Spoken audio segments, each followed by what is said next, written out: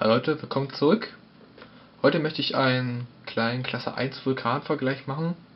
Und zwar einmal zwischen den Megalights von Komet und dem Leuchtfeuer von Komet. Aus der Black Flag Serie. Also sehen äh, die Klasse 1 Leuchtfeuer Vulkane aus. Umgelabelt. Ist ganz gut. Die NEM beträgt hier 3 Gramm.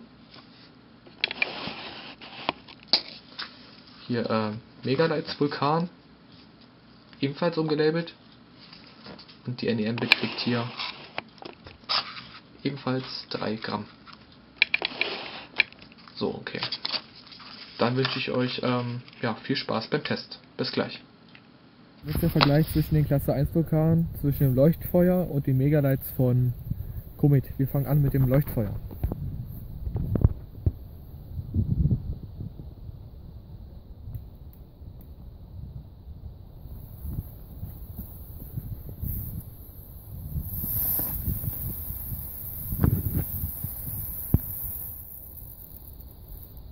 Und jetzt die Megalights.